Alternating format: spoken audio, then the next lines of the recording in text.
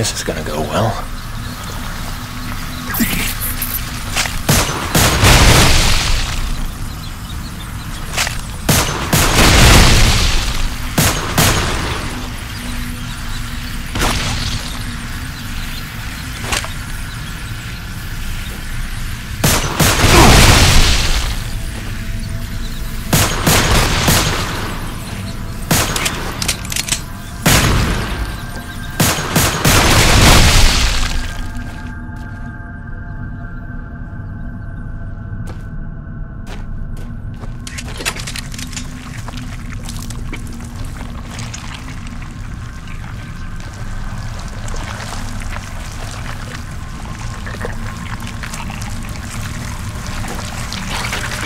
Ugh, God.